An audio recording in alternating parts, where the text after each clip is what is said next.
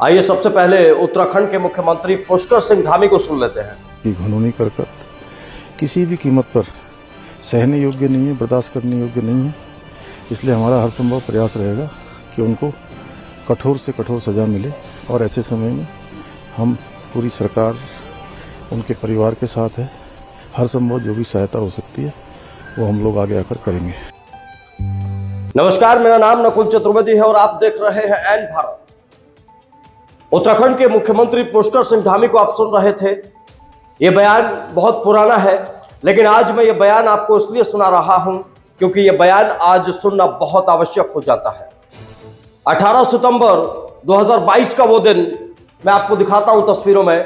18 सितंबर 2022 का वो दिन जब उत्तराखंड की बेटी अंकिता भंडारी की हत्या कर दी गई थी। उसे नहर में फेंक दिया गया था। इस घटना के बाद पूरे उत्तराखंड में गुस्सा था, पूरा उत्तराखंड सड़कों पर उतरा था। बीजेपी नेता के बेटे पुलकित आर्य पर इस पूरी घटना को अंजाम देने के आरोप लगे थे। इसके अलावा उन वीआईपी के चक्कर में अंकिता भंडारी की हत्या की गई थी, जिनको स्पेशल ट्रीटमेंट देने के लिए अंकिता पर दबाव बनाया जा रहा था। लेकिन आज ऐसा कुछ नहीं हुआ है, जिसकी वजह से मुझे एक खबर उठानी पड़ रही हो। बल्कि मैं तो एक साल पुराने उस घटनाक्रम पर पहुँच जा रहा हूँ, जब पूरा उत्तराखंड गमगीन था। हम सभी को गुस्सा आ रहा था कि एक बेटी के साथ ये हुआ, जो अपने गाँव से निकलकर नौकरी करने के लिए गई थी। और आज ये मुद्दा मैं इसलिए उठा रहा हूँ क्योंकि एक साल होने वाला है। पूरा एक साल होने वाला है। अभी अगस्त चल रहा है। अगले महीने पूरा एक साल होने वाला है। पूरे एक साल में एक आरोपी को अंदर किया है पुल के तारे को। उसके अलावा इस पूरे मामले में पुलिस और सरकार किसी भी तरीके का कोई इंटरेस्ट लेते हुए नहीं दिखाई दे रही जो पुलिस, जो हमारे देश की सरकारें ये कहती है कि एक मिनट लगेगा हम आतंकवादियों को पकड़ लेंगे, एक मिनट लगता है हम ये कर देते हैं, एक मिनट लगता है हमारी डबल इंजन की सरकार ये कर देती है। और यकीनन, जब अंकिता के साथ ये सब कुछ हुआ था तो लग रहा था कि भाई, अब उत्तराखंड की सरकार जो पूरा तरीके से सीरियस है, मुख्यमंत्री वहाँ पर पहुँच रहे हैं। अब वीआईपीओ का नाम भी सामने आएगा और आरोपी भी जल्दी सजा पाएँगे। लेकिन एक साल बीतने वाला है। उत्तराखंड की जामबाज पुलिस, डीजीपी उत्तराखंड के उत्तराखंड के हिंदुवादी नेता पुष्कर सिंह धामी एक बेटी को इंसाफ दिलाने के लिए कोई जद्दोजहद करते हुए नहीं दिखाई दे रहे। अगर दिखाई दे रहे होते तो अब तक उन वीआईपी लोगों का नाम सामने आ गया होता, जिन्होंने पहाड़ की बेटी अंकिता भंडारी की हत्या की थी। उस बेटी की हत्या की थी जो बेटी अपने परिवार का आसरा थी। उस बेटी की हत्या की थी जो अपने अरमानों को लेकर गाँव से निकली थी, हिम्मत बाँध कर निकली थी वो बेटी।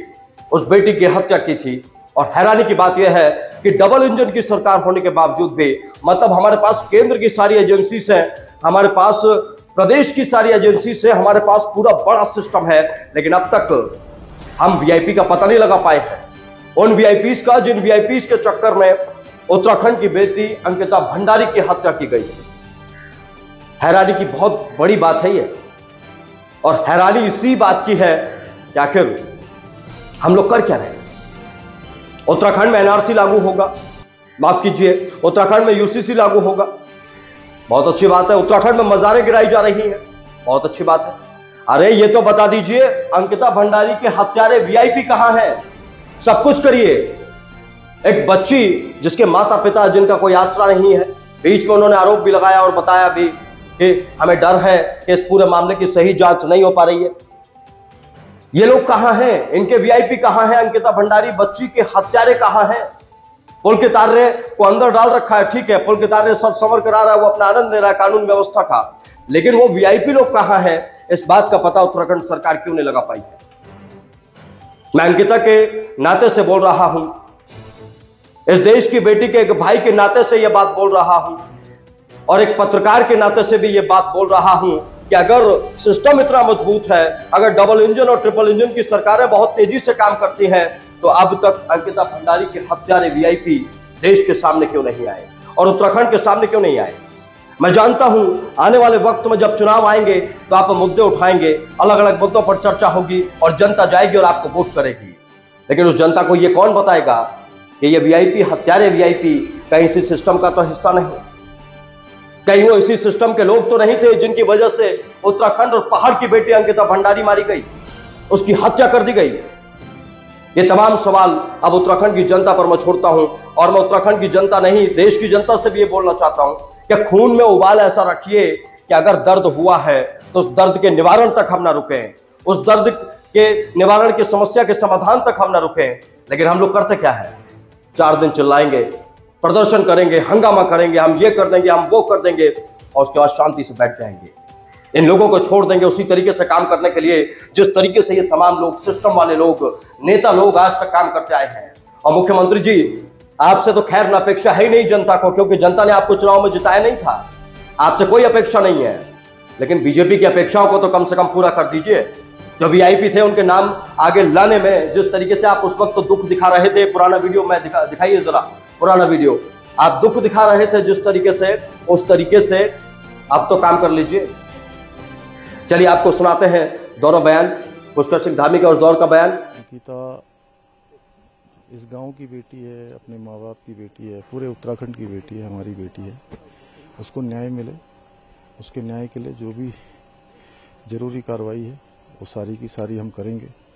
क्योंकि उत्तराखंड राज्य के अंदर इस प्रकार का जघन्य अपराध, इस प्रकार की घनौनी करकट किसी भी कीमत पर सहने योग्य नहीं है, बर्दाश्त करने योग्य नहीं है।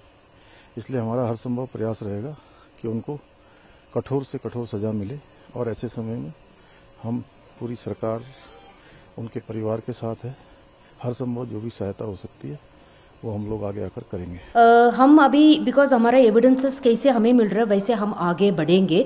हमारा पूरा प्रयास रहेगा हंड्रेड परसेंट कितना भी अक्यूज है इसमें सो उनको अ, बिल्कुल मैक्सिमम पनिशमेंट का इंश्योर करने के लिए हमारा पूरा प्रयास रहेगा। ये अ, मुकदमा है हम फास्ट ट्रैक कोर्ट में भी इसको लेके जाएँगे सो दैट उनको जल्दी भी न्याय मिले। तो कुल मिलाकर कहने का मतलब ये है कि सिस्टम अपनी मनमानी करता है। पहले भी करता आ रहा था, आज भी कर रहा है। मोदी जी के आने के बाद भी कुछ नहीं बदला है। हरीश रावत के जाने के बाद भी कुछ नहीं बदला है। कहते हैं कि सिस्टम अपने तरीके से काम करता है, वो नेताओं को अपने तरीके से चलाता है, लेकिन आज सिस्टम जो कर रहा है ना, वो लोगों की आकांक्षाओं से बिल्कुल परे है।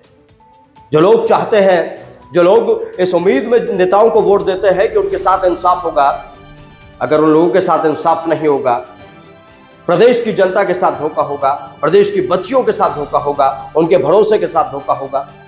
नहीं चल पाएगा इसे फ़िलहाल मेरे साथ देता ही। नमस्कार जय Hind. You can see, uh, these are some very dramatic.